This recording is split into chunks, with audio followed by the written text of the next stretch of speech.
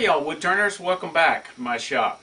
Today I want to show you how to turn some of those nice scraps you might have, uh, cut-offs of exotic woods, a little bits that are too good to throw away, you know we've all got them. Uh, how to turn them into something uh, useful and, and uh, make great little gifts and that's fan, uh, fan pulls or light pulls. Uh, you know, replacing the ones that come from a light, it doesn't take a whole lot to, to improve. so that's what we're going to do today.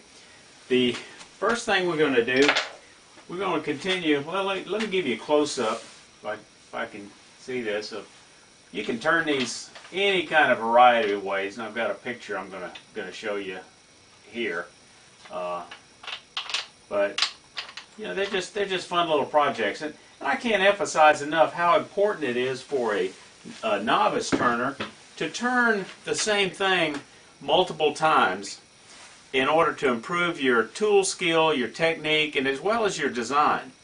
Uh, and, and that only comes with, with practice. Now, I've got to preface this as I usually do. This is not the only way to do it. May not be the best way to do it, but it's the way I do it. And if you got something better, a comment. I'm, uh, me as well as the uh, my other viewers would love to have it. So uh, feel free to make a comment. We're going to start off with a scrap of wood somewhere between one and a half to three inches long and somewhere around maybe seven eighths to an inch and a half uh, in diameter. Any kind of wood will work. Heck, you can even uh, glue up or laminate it if you got little scraps. If you made uh, cutting boards or if you're a segmenter, I'm sure you probably got some little scraps that'll that'll work fine. So, first thing we're going to do, I'm going to kind of mark Actually, I'm not going to mark the center. Uh, I'm going to show you how we drill these first. And we've got several options for drilling. And I want to give you as many options as possible. Everybody's shop's not, a, not set up the same way. We all have our preference for tools. Uh, and so I've got some, some different techniques. Now, you can drill these on the, on the drill press table as I've shown in this picture picture here. Uh, that works just fine. It's an it's an alternative if you have a drill press and you don't have a Jacobs chuck to drill them on on the lathe. But actually, I prefer to, to do them on the lathe. I think they're it's faster and and actually easier. Now, one thing that I've got that makes it a little easier for me is I've got some pin jaws. These are Nova uh, jaws. They come in pairs, and they're for drilling out pin blanks, but they'll hold out any type of uh, square square stock. So let me show you how that works. So we're going to take this this uh, blank and it's just going to catch the corners so it doesn't have to be perfectly square, doesn't have to be milled lumber. This is a couple of scraps of sycamore that been drying for a year or so. And the traditional way that we, we drill excuse me while I'm talking my back, uh, is with the Jacobs chuck uh, on the on the lathe. Uh, and one little technique I want to mention now, I find it safer when, when you're using a Jacobs chuck to go ahead and put the drill in off the lathe. That way you can make sure it's centered because the one way you can really mess up drilling this hole is you can uh, hold one of these small drill bits fairly easily uh, and not get it centered, but when you look at it, you can tell. So this is a traditional way of doing it, and I'm going to show you a couple of faster ways.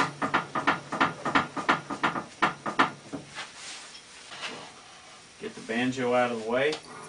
Uh, before I do that, the first thing I like to do is kind of face it off a little bit because the where we're going to drill, uh, this is going to be where you're going to be able to see it on, on either end. And it's easier to go ahead and clean it up now and not have to worry about it later. So I tend to use a skew. Most of this work I'll do with a uh, spindle roughing gouge or a spindle gouge, but a skew works real well for some tasks, and this is one of them.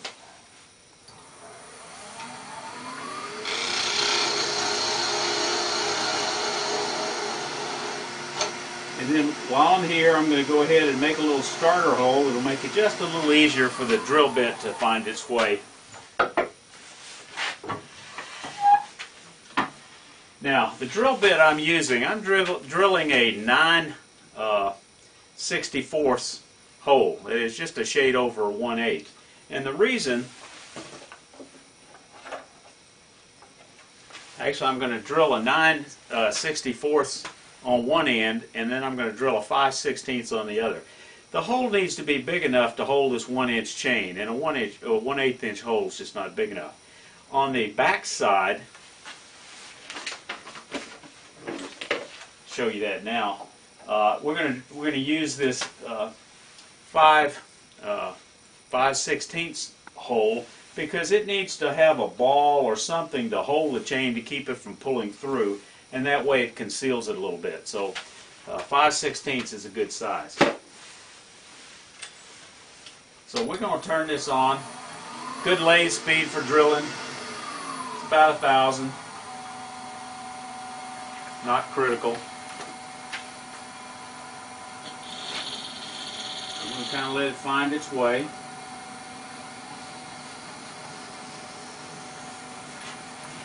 And then I'm going to clear the chips. One of the things that makes it easier to clear the chips is a, a little brass detail brush.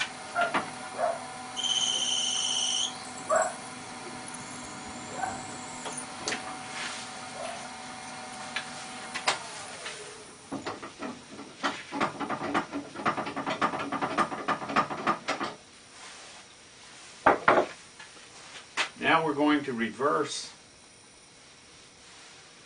reverse this. Let me figure out where I put my key.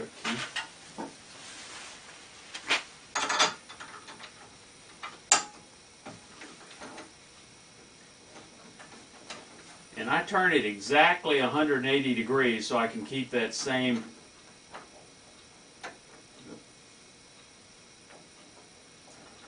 Try to keep the same orientation of the wood if it's not perfectly square.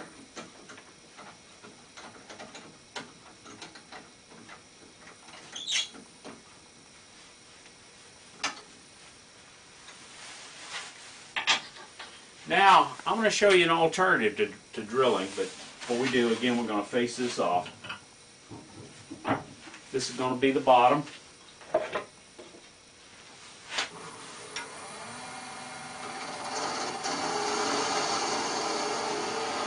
I'm going to chamfer it just a little bit.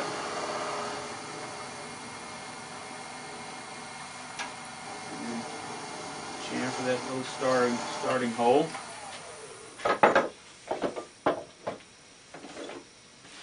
Now, what if you're doing a bunch of these things in, in production, you're looking for ways to speed up the process. And one way to speed up the process is to use a dedicated hand drill.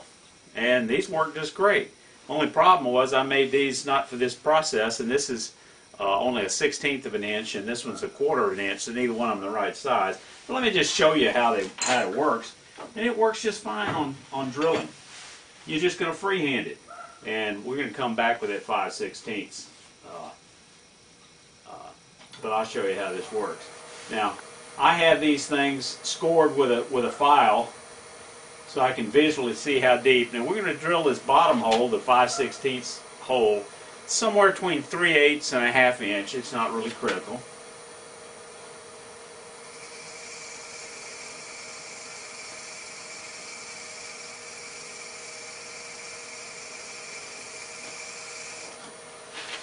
And that's how it works if you're going to really want to speed this process up. Make you a couple of dedicated handles. If you're only going to do a few, but but several. Another alternative, if you have a spare Jacobs chuck, put one drill bit in one chuck, the other drill bit in the other chuck, and use the actual Jacobs chuck as a handle. Now I'm fortunate in that I have one that's keyed, a keyed chuck, and one that's uh, you can hand tighten. I like the hand tighten one because I look for the for the key but this other one works well too. So we tighten that up. So this is a 5 16th. I'm just going to go back in and re-drill that hole. And it works.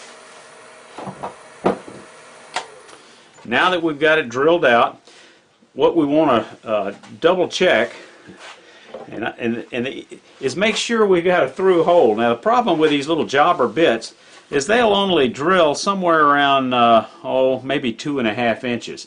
That is about two inches deep, this distance, plus the half an inch or so of the larger hole where it meets.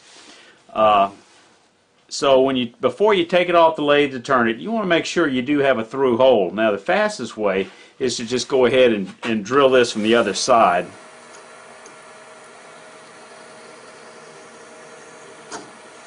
And that'll guarantee a, a through hole.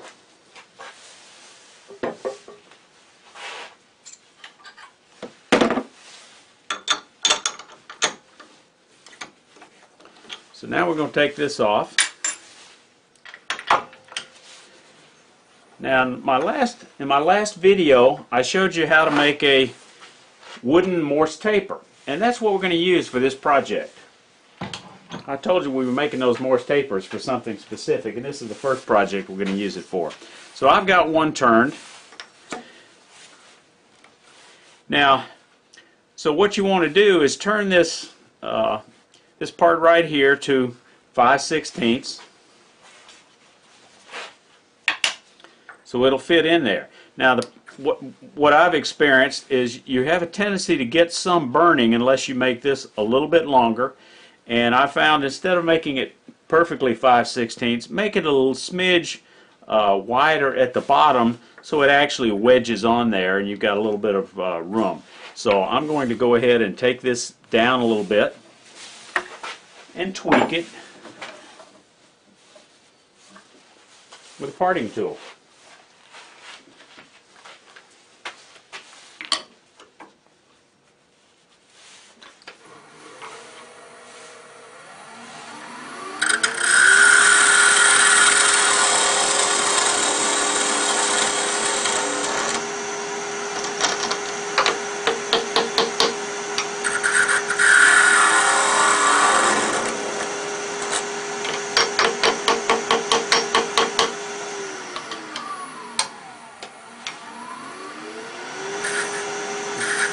chamfer back there.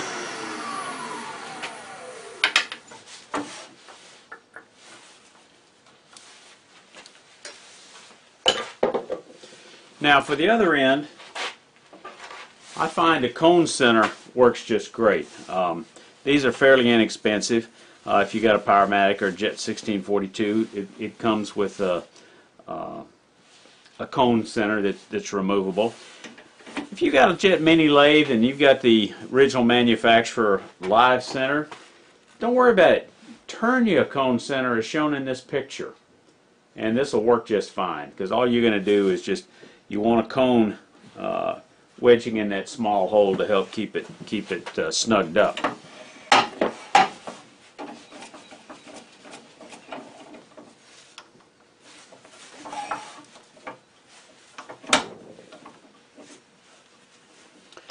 Get it snug, not overly tight. We're going to turn it high speed. We're not turning a bowl here.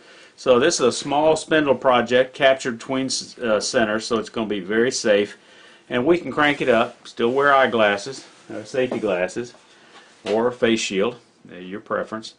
So we're going to turn this thing at, at speeds of excess of 2500.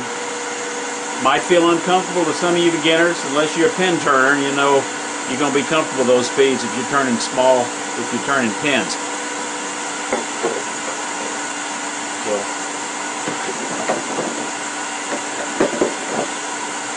We're going to use a spindle roughing gouge. Turn this, turn this cylinder around.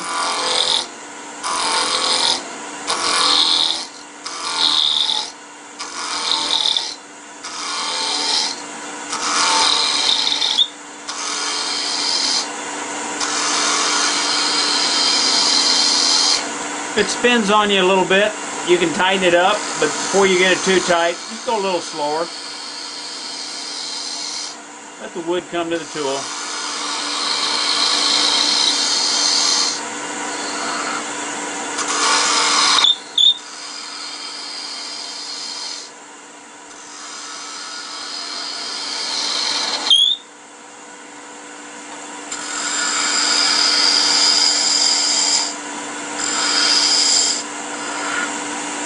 Okay, now we're going to refine the shape a little bit with a spindle gouge.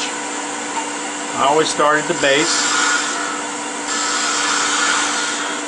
And by making that um, tenon a little bit uh, fatter at the bottom, it gives us a little more room to work around the bottom.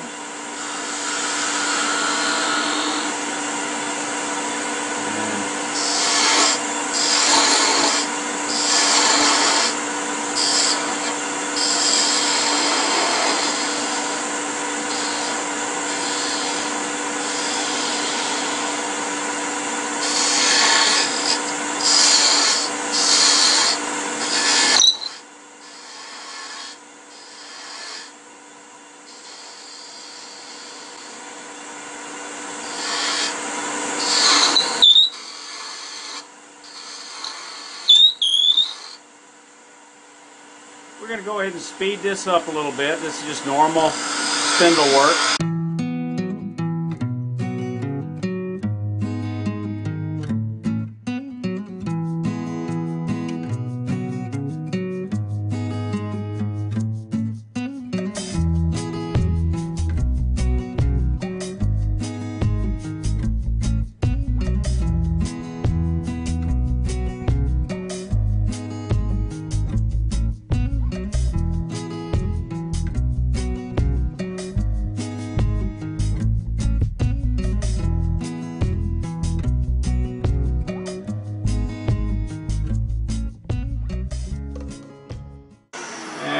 Call it good.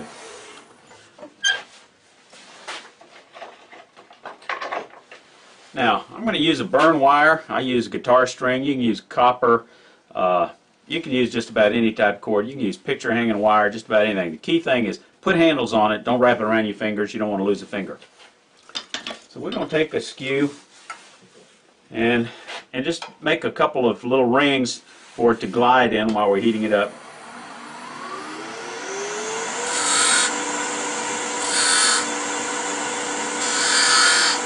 Actually, wouldn't even have to use burn rings. That's a nice little feature, but you can see it from a distance if they're burn rings. Get that out of the way. High speed so it builds up enough friction. Bend your hand over in the back.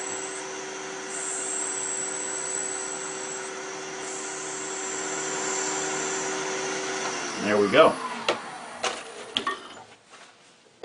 Now, I'm going to use this little Sorby miniature spiraling uh, tool uh, with the smallest wheel on it. And we're going to set the tool rest at center height. And we're going to turn the speed down to maybe 500 or so. Not critical, plus or minus 100. And we're just going to ease, going to engage the tool, lift the handle so it starts cutting. And then gradually work back and forth a little bit.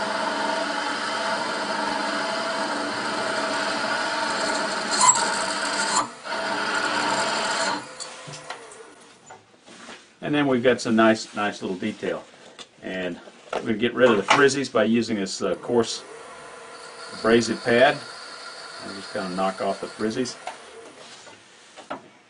Um, most any finish will do fine. If you use uh, antique oil, that works great. For little things like this, I tend to want to use a, a friction uh, finish uh, that a pin turner might use while it's on the lathe. I don't like CA glue finishes. Uh, I don't like the smell.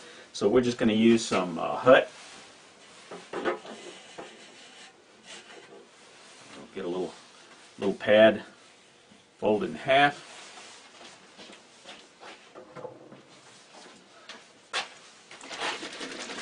Shake it up a little bit. Put a, a generous amount on here and just wipe it on. Get it in the crevices the texturing you got to come across to get it in there good. And we're going to crank this thing up. Pretty good speed. Move it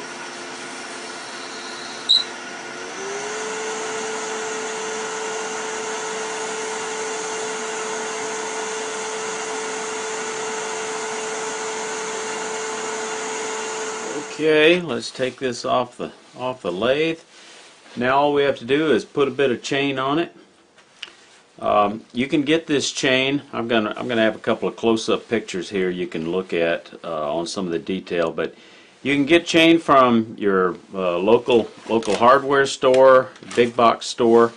Um, your best bet's a hardware store because then you're able to get lots of little small uh, fittings that you can use as as stops. Um, but all you do is drop your chain in. Oops, go in from the top.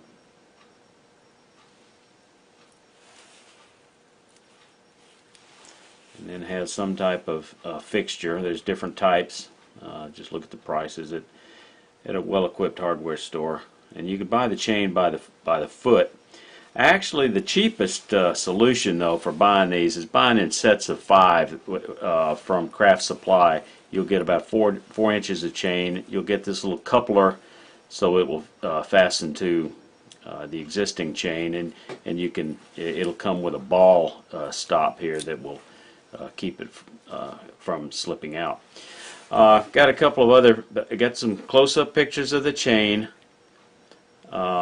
Uh, one thing I one thing I did forget One to thing I mention. I forgot to mention. I published an article in American Woodturner, and I believe this is June June of last year, 2014, on making uh, making uh, light and fan pulls. Uh, you can go to my blog. you can go to my blog. It's posted in the description to download that article if, if you're interested.